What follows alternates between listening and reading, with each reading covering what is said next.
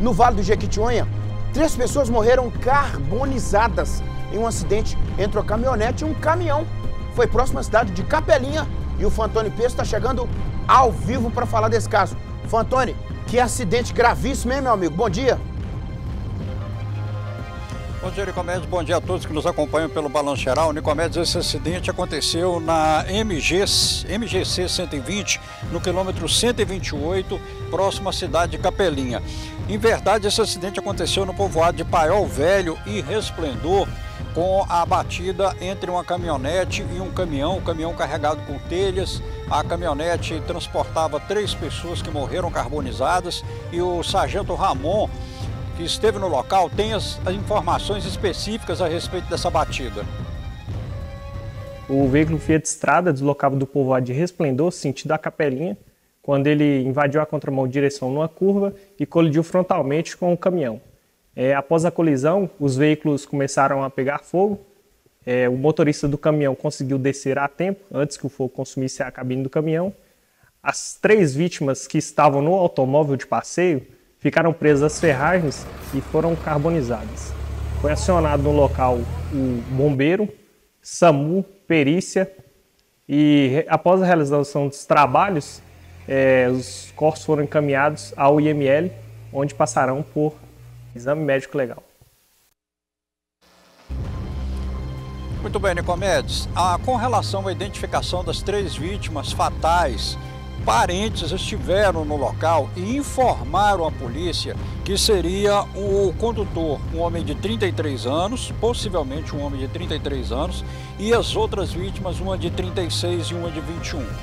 Segundo informações de parentes, essas três pessoas eh, cumpriam pena em regime semiaberto e retornavam da comunidade rural para o, a, a, unidade, a unidade prisional na cidade de Capelinha.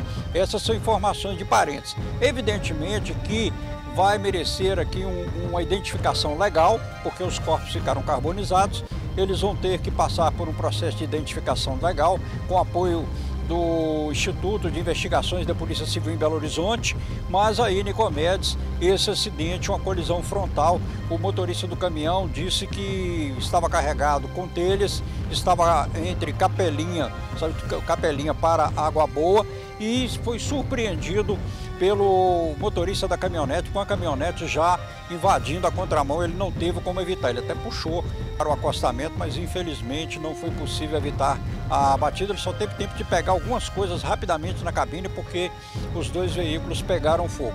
E aí, Nicomedes, vem aquela recomendação, nós estamos nós aproveitando essa situação em que as autoridades de trânsito, que elas mais temem nas colisões frontais é justamente porque dificilmente passageiros, o motorista, eles conseguem escapar.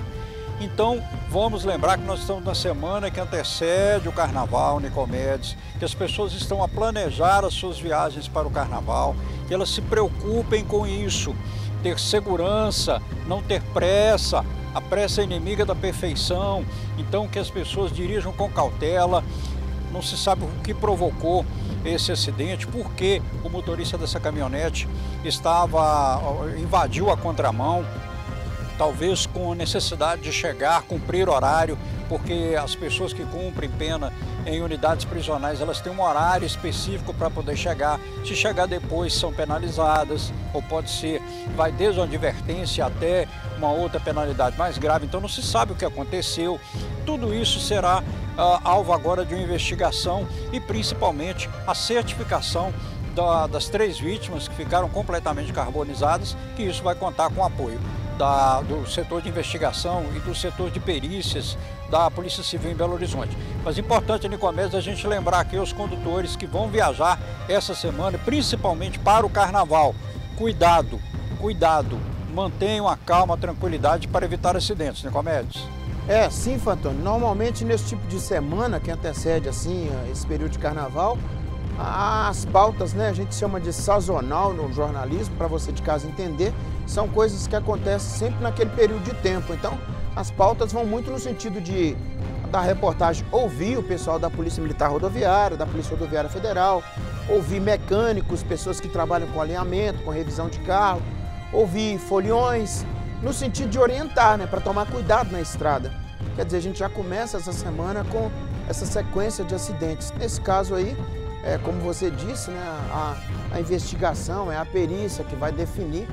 Aí acaba que nessa modernidade usa-se até o celular, né? No caso, não das pessoas que, que morreram, mas as imagens que possam ter sido postadas anteriormente, como imagem como essa aí, ou o áudio que tenha sido mandado para um amigo, falando, ó, estamos no ponto tal, estamos atrasados ou não estamos atrasados. Tudo isso vai ajudar a, a perícia a definir o que possa ter é, causado esse acidente gravíssimo, gravíssimo. Nós estamos falando de três mortes, e sobretudo porque as pessoas não tiveram nem chance de ter sido é, resgatado, né, os corpos, né, praticamente carbonizado aí é terrível para a família né? fazer um velório desse jeito, né? Obrigado, viu, Fantônio? Que imagem forte, né, Jarão? Nossa Deus, que, ima que imagem forte, né? A pancada aí é combustão, isso espia, motor quente, é combustível, é etanol, é gasolina, é diesel aqui. Meu Deus.